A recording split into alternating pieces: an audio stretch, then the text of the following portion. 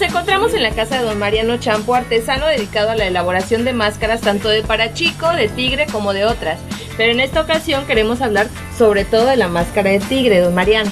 ¿Por qué? Por la tradición de la danza del tigre. Dígame, usted, ¿hace cuánto empezó con este ejercicio del trabajo de las máscaras? Mm, Empecé como la edad de 8 años. A la edad de 8 años. ¿Fue su padre quien le enseñó a hacerlo No, o lo aprendió a hacer? Me crié huérfano yo y empecé a, este, a hacer mis máscaras con cáscara de calabaza para que yo bailara.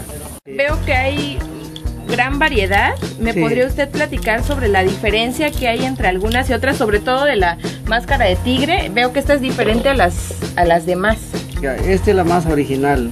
O sea, por eso ahorita el que los jóvenes de esta época, la máscara original, pues lo, lo ven, ve a ellos. Ellos pues que no tiene un llamativo pues. Y este plata aquí significa los tres puntos cardinales por donde gobernó Chichen Itzá. Ah, ok, perfecto. Sí. Y los cuadros de plata, estos cuadros significa el círculo también, de, entre estuvo el pleito entre la religión pagana y la religión católica. Eh, La máscara tradicional es- era lo más austera posible, pues no, no tenía gran detalle. No, no Pero tenía mucho gran detalle. significado. Sí, pero tiene un significado. Por ejemplo, este, esta máscara tiene como unos 36 años. Este también es de, de mi elaboración mía también.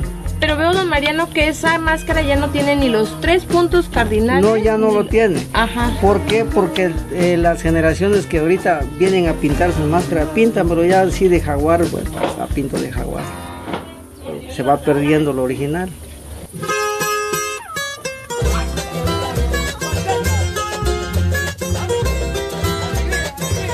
Nos encontramos con José Humberto Champo, hijo de don Mariano, quien se dedica al, al detallado de las máscaras de tigre. José Humberto, dime desde hace cuánto tiempo trabajas en esto, en esta labor. Pues desde que lo aprendí tenía yo como 12 años y ahorita tengo 32 años. Platícame un poco sobre lo que vas haciendo.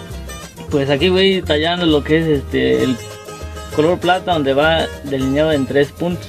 Ajá, Lo que lleva este punto más grande de acá ajá, ¿sí? y las otras dos que va aquí al, al lado. Y a ver, veo que hay mucho detalle en los ojos. Platícame un poco sobre eso y veo que aquí tienes más. Es un cristal plano cuadrado de 4x4. Sí, Ahí lleva un proceso de un- unos moldes que están así ovaladas, se les coloca y ya se le calienta con un soplete. Viene otro que es al contrario, así como está esto, y ya se le incrusta uno hacia adentro para que salga este bombillito porque este queda así. Y luego, ¿cómo le haces para que se vean tan reales? Ya luego procede a hacerle el puntito que está aquí, hazte cuenta que está esto, ¿no? Ujú. Ah, mira, mira, mira este. Ajá. Y ya, y puntea ahí. Y le da la vuelta que es del punto. Es el primer paso en cuanto a pintura. Así empieza. Y luego ya se le da el recubrimiento de lo que es el celeste a la orillita, la niña del ojo. Por eso está así. ¿Y la máscara que estás trabajando de cuáles tiene? De estas, De esas. de estas más rellenadas. Por eso se le ve así.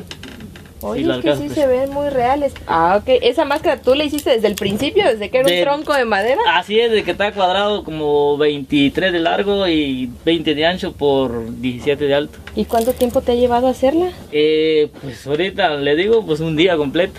¿Un día completo? Un día completo hasta desde que lo voy a dejar pintado. ¿Cómo poquito. Un día completo. Dijeron, no, se ha de tardar semanas haciendo. No, es un día. Es que como ya es la práctica que uno tiene. Perfecto, José Humberto. Me, me gusta mucho tu trabajo.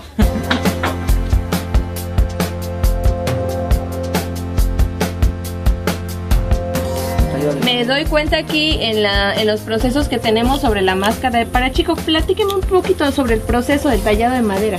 Por ejemplo, este es, eh, este es un inicio, un empiezo todo. Primero se hace cuadrado la madera, se hace la cara, después se vacía la parte de interior donde va la cara del danzante. Ajá. De ahí ya porque pasa esta etapa y entonces ya se empieza, ya está así ya medio picudo y ya se empieza ya a estarle escarbando con una gurbia así para que le vaya esté sacando ya la, la bolita del ojo. Sí, sí. La haciéndole la forma de la, La cara. forma, bueno. La forma correcta. Sí, la forma correcta. Y ya se marca el ojo aquí con un, una un pluma. contorno, Sí, ¿no? sí, sí, ya y las dos partes iguales. También esta gurbia trabaja aquí y trabaja aquí también. Ay, don Mariano, lo hace usted tan fácil. Estas marcas son más sencillas. más sencillona. Ahora, esta ya tiene más trabajo. Esta no es más españolizada. Ajá. La máscara de esta tras, trascendencia del español, entre el español y el mexicano. Entonces, la máscara puede significar el cruce de razas también entre el indio mexicano y el español. Ah, ok. Entonces cuando la carita es más fina, bien espigada la nariz, la, la, la boca bien perfilada. Puro perfil español. Sí, puro perfil español, la máscara es más españolizada. Ah, ok, perfecto. Este también es español. Pero veo que tiene mucho detalle. Todo sale de la misma pieza de madera. Todo sale de la misma pieza de la madera. Por ejemplo, aquí mi hijo, el José, va, va plasmando su máscara y va haciéndolo, lo va a hacer más finito el peinado. ¿Por qué? Porque ya con un fierrito de estos más, más finos los fierros, con estos fierritos, lo va a ir deslizando así ya, ya tratándose de que no se vaya, no, no se vaya este, a, a, deshelar la madera o a quebrarse la madera. Y de que se vea lo más real posible. Lo más real que posible. Raíces. Aquí está el español ya avanzado de edad y el español joven. El español joven. Sí.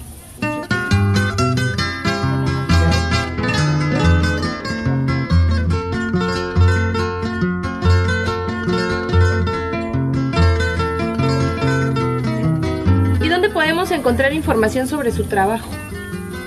Pues tengo otra información este, en todos los museos de, digamos, de aquí del, estado de San Cristóbal, de las casas, eh, marca Chiapas, que es el que compra pues todo de los concursos, ahí compran todos ellos. Me decía usted que tenía una página de internet, ¿cuál es? Es la de que se llama este El Creador del Gigante. El Creador del Gigante. Sí, El Creador del Gigante, sí. Y también me pueden encontrar también, por ejemplo, en México, en el museo, también hay máscaras de aquí del taller.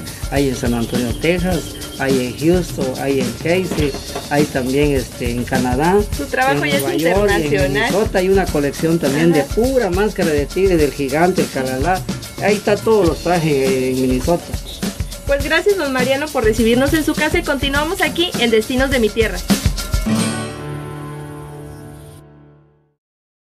Obras son amores y no buenas razones. Al tener buenas carreteras está marcando...